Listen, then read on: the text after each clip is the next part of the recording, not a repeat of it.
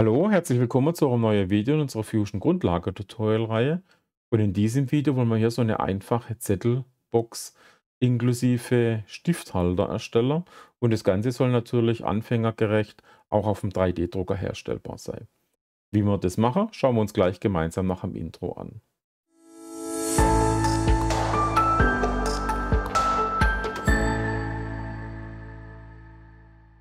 So, machen wir hier mal eine neue Konstruktion. Und ich fange mal wie immer hier mit einer neuen Skizze an. Mache ich hier in der Draufsicht. Und wir fangen hier mal mit einem Rechteck an. Klicke hier in den Ursprung rein. Ziehen dann hier mal unser Rechteck auf. Und dann bemaßen wir das Ganze. Das mache ich mit der Taste D oder hier mit dem entsprechenden Icon.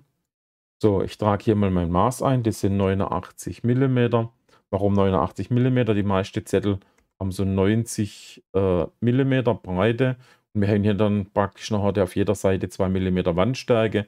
Und dann habe ich noch ein paar Millimeter Luft. So, jetzt ist hier natürlich, ich habe nur eine Seite bemaßt. Das heißt, ich kann ja die andere Seite noch frei verschieben. Und hier wählen wir einfach jetzt beide Linien aus oder zu die, äh, die Shift-Taste gedrückt halten. Und dann können wir hier im Bereich Skizze unter Abhängigkeiten können wir hier sagen, beide Linien sind dann gleich. Und wenn ich jetzt hier entsprechend das Maß anpasse, geht, äh, geht die andere Linie hier automatisch mit. So, jetzt wollen wir hier noch einen Ausbruch reinmachen. Dazu wählen wir jetzt hier mal die Versatzlinie aus. Ich wähle hier einfach die Außenkontur an. Und jetzt müssen wir hier unseren Maß eintragen. Das sind 15 mm. Allerdings nicht, ich will keinen Versatz nach außen, sondern nach innen. Also schalten wir den einfach hier um. Und dann können wir ja OK sagen. So, und dann sagen wir Skizze fertigstellen.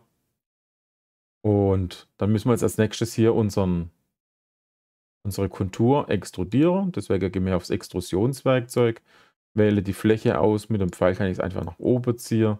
Und dann tragen wir entweder hier in das Eingabefeld oder hier in unserem Extrusionsfenster die 60 mm ein, die wir hier extrudieren wollen.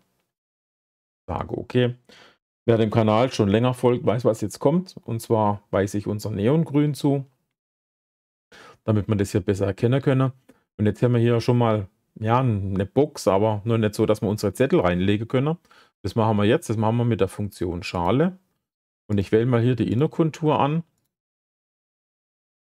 So kann jetzt hier in mein Eingabefeld mal die 2 mm Wandstärke einzeichnen. So, und jetzt habe ich natürlich hier oben die Deckfläche noch vergessen. Ist aber kein Problem, solange hier oben Flächen und Körper ausgewählt ist, kann ich einfach die Steuerungstaste gedrückt halten und dann kann ich hier die Deckfläche auch noch auswählen. Und jetzt haben wir hier schon mal unsere Zettelbox erstellt.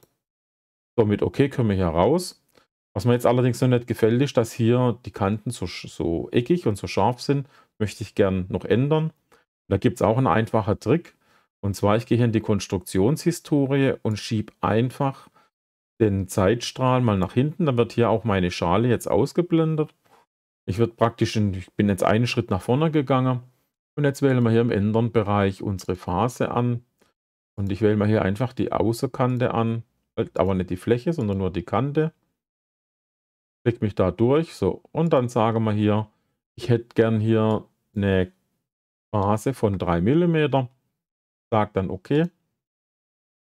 Bewege jetzt hier meinen Marker wieder ans Ende der Historie und habe dann hier jetzt automatisch schön ähm, einen eine Phase angebracht. Eventuell ist hier die Kante, die Innerkante ein bisschen noch zu groß, also aber kein Thema. Gehen wir hier wieder in die Phase mit rein, rechte Maustaste, Element bearbeiten. Und jetzt kann ich hier ohne Element bearbeiten die 3 mm doch auf 2 mm zurücksetzen.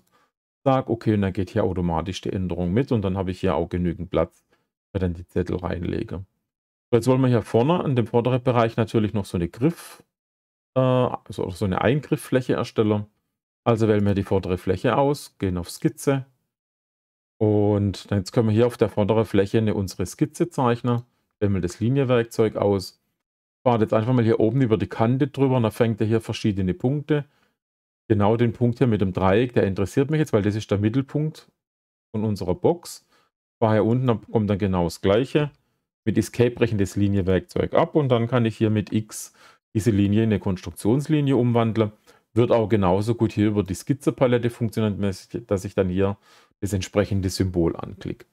So, jetzt wählen wir wieder das Linienwerkzeug aus, fangen uns hier oben mal eine Kante, fahre hier rüber, ziehen das hier rüber, haben wir hier schon mal das entsprechend, dann können wir das Ganze gleich spiegeln. Doppelklick drauf, dann wird der komplette Linienzug markiert, dann die Spiegelachse auswählen. Das ist dann hier unsere Konstruktionslinie. Ziehen wir das hier rüber. So, dann bemaßen wir das Ganze noch. Ich möchte den Ausbruch nicht bis ganz runter machen, sondern ein bisschen Luft haben. Ich habe hier 2 mm Materialstärke, deswegen denke ich mal hier 5 mm sind ganz okay. So, dann können wir hier das noch die zwei Punkte bemaßen. Dann gehen wir hier mal auf 30 mm oder machen wir 35. Und hier den Winkel möchten wir auch ein kleiner bemaßen. Also hier anklicken und das. Dann können wir hier den Winkel rangeben. Und hier gehen wir mal auf 100 Grad. Und dann sagen wir die Skizze fertigstellen. Und jetzt müssen wir einfach hier diese Fläche nach innen extrudieren. Dann wird es abgezogen. Also ich wähle das Extrusionswerkzeug aus. Sage hier mit dem Pfeil, in welche Richtung soll es gehen. Und jetzt stelle ich aber hier in, meiner Extrus in meinem Extrusionsfenster ist ein auf Objekt und wähle dann hier die Innerkante an oder die Innerseite. Und dann wird praktisch das Feature Ausschneiden oder das negative Extrudierer so weit angewandt, wie hier halt meine Materialstärke ist. Das heißt, wenn ich nachträglich die Materialstärke ändere, brauche ich mir hier um das Ausschneiden keine Gedanken zu machen. Das geht automatisch mit. Und dann sagen wir OK. Und jetzt möchten wir hier natürlich noch ein paar Radie einfügen. Also gehen wir ins Radie-Werkzeug, wähle dann hier mal unsere entsprechende Kante an. So, können wir hier mal eintragen, 4 mm. Und ich möchte hier innen auch nochmal das eintragen. Also machen wir hier in der Abrundenpalette, gehen wir mal hier rein, sage Plus. Und jetzt können wir hier wieder auch die Kanten anwählen. Ups, das war falsch. So, die hier. Und dann die. Und zum Schluss noch die hier. Und da sagen wir hier mal 5 mm. Und dann sagen wir okay. Und jetzt haben wir hier schon mal unsere erste funktionsfähige äh, Zettelbox erstellt.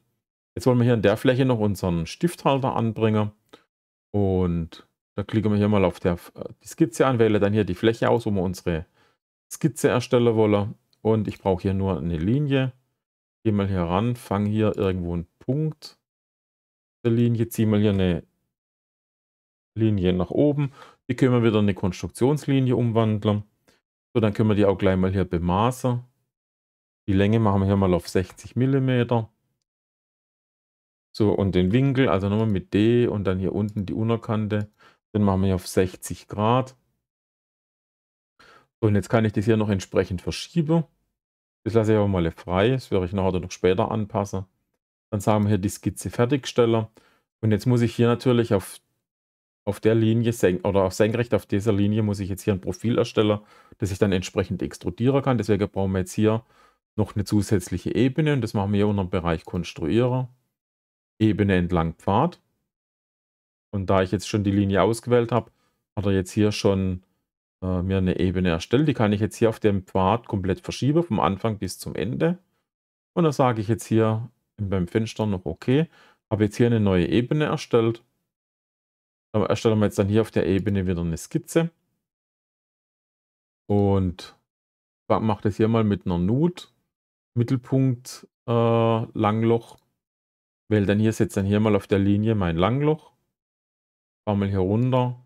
So, jetzt habe hier mal jetzt grob äh, meinen, mein Langloch oder meine Nut erstellt. Die wollen wir jetzt noch natürlich noch bemaßen. Und dann bemaßen wir hier mal die Breite. Das sind 12,5 mm. Hier ruhig ein bisschen großzügiger sein, damit wir hier entsprechend was machen können. So, und dann bemaßen wir noch hier unseren Innerabstand. Also das wäre hier sozusagen die Linie. Da können wir jetzt hier rechnen. Und zwar, ich will insgesamt, brauche ich 16 mm. Also rechnen wir hier mal 16 mm minus die Breite. Klicke ich einfach das an, Return. Und dann wird es hier entsprechend automatisch bemaßt. So, dann brauchen wir aber hier noch, das ist mein praktisch das Maß für meine Bohrung. Jetzt brauchen wir noch eine Außenfläche. Also machen wir hier auch wieder einen Versatz. Ich klicke hier das an und ich möchte hier gerne eine Materialstärke haben von 3 mm. So, das mache ich jetzt in dem Fall nach außen. Sage dann OK. Und dann können wir hier die Skizze fertigstellen. Jetzt müssen wir das Ganze einfach nur noch extrudieren. So, deswegen gehen wir hier wieder aufs Extrusionswerkzeug. Ich wähle die innere Fläche aus und die äußere Fläche. Das mache ich jetzt deswegen, weil ich hier unten äh, das geschlossen haben möchte. Dann ziehen wir das mal nach unten. Im Moment schneidet er mir das ja noch aus. Das können wir aber jetzt im Augenblick hier, äh, können wir das noch umgehen, dass wir hier sagen, ich möchte hier neue Körperersteller. So, ziehe das mal nach unten. Jetzt sehen wir gleich hier das Problem, dass das jetzt hier unten komplett nach außen geht. Und da sage ich einfach hier mal bis auf Objekt. Wähle dann hier die Fläche aus und dann wird es hier unten auch gleich automatisch schräg abgeschnitten. So, und dann sagen wir OK. Und jetzt müssen wir hier natürlich noch unsere ähm, Öffnung für unseren Kugelschreiber rauslöschen. Also gehen wir hier, schalte mal kurz im Browser unsere Skizze wieder ein, die wir gerade benutzt haben. Wähle nochmal Extrudiere aus, wähle jetzt hier äh, unser inneres Langloch ausziehen, das mal nach unten. Und dann gucke ich, dass ich hier noch ein bisschen Luft habe. Ja, minus 53 mm, sieht ganz gut aus, passt auch. Wichtig ist, dass ich jetzt hier auswähle Objekte zum Ausschneiden und zwar, ich möchte hier von meinem Körper 1, kann ich hier mal umschalten, Körper 1 wäre praktisch meine Box, an der möchte ich nichts ausschneiden, sondern nur an dem neuen, an dem zweiten Körper. So, dann sagen wir OK. Und jetzt müssen wir den ganzen Körper hier nur noch natürlich ein bisschen nach außen verschieben. Das machen wir hier mit dem Schiebewerkzeug. Sagen wir mal hier einen Punkt. So, und schiebt es jetzt einfach mal hier nach außen. Kann hier mal drauf gucken. Sagt dann okay, habe das jetzt ja nach außen verschoben. Dann können wir hier noch die zwei Skizzen abschalten. Und jetzt müssen wir das Ganze nur noch miteinander verschmelzen. Das machen wir hier mit dem äh, Kombiniererwerkzeug. Wähle den ersten Körper aus, den zweiten Körper. Sage dann okay. Und jetzt haben wir hier beide Körper miteinander verschmolzen. Und jetzt müssen wir hier noch entsprechend ein paar äh, Phasen anbringen. Also gehen wir hier nochmal auf die Phase. Hier möchte ich so gern bitte 2 mm haben. Oder machen wir mal 1,5 mm, 1,5 und